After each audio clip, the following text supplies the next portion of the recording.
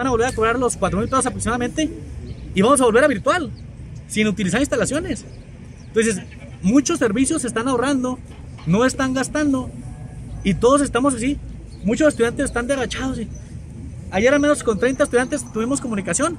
Entonces, en sí, cierto, debería ser general el descuento. Un descuento general y reducción de costos para todos los estudiantes de la UACH. ¿Cuál es tu nombre? Saúl Quintana. ¿De cuánto buscarían la reducción? Fíjese no es como tal un- una reducción específica, pero deberían de ser empáticos y más conscientes y transparentes. Hay opacidad actualmente en el manejo de los recursos.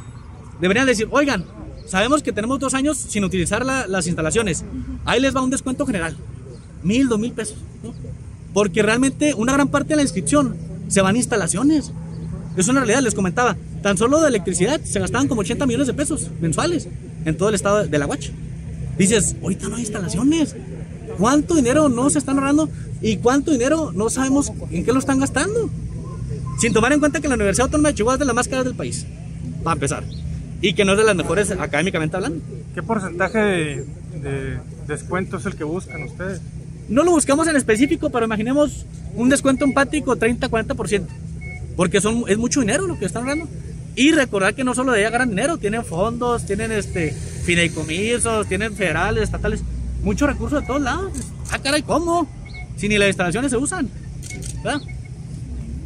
¿De cuántas facultades están representando? Odontología, ingeniería y ciencias políticas. Y hay apoyo de otras facultades, todos los con los que hablamos, de varias facultades.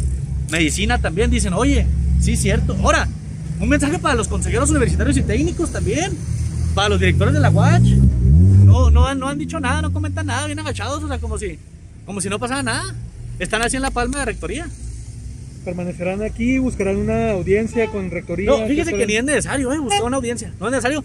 Porque ya fijaron los costos. Son 4 mil pesos, lo que se va a cobrar ahorita. Y luego se hizo una beca extraordinaria por COVID. Son 22 mil estudiantes de la UACH. La minoría son los que van a, van a aplicarles el descuentito ese del COVID. Bueno, sí les van a aplicar el descuento total, pero son pocos. Realmente, y ahora, no han dicho cuántos estudiantes van a aceptar, van a, les van a dar esa beca COVID. Ayer se estuvo insistiendo en, con comunicación social que nos diera el dato. Oye, ¿cuántos estudiantes fueron, fueron aceptados? Que ya con varios alumnos y compañeros ya les negaron la beca, la beca extraordinaria COVID. Es decir, son muy pocos los que van a ser aceptados con esa beca total.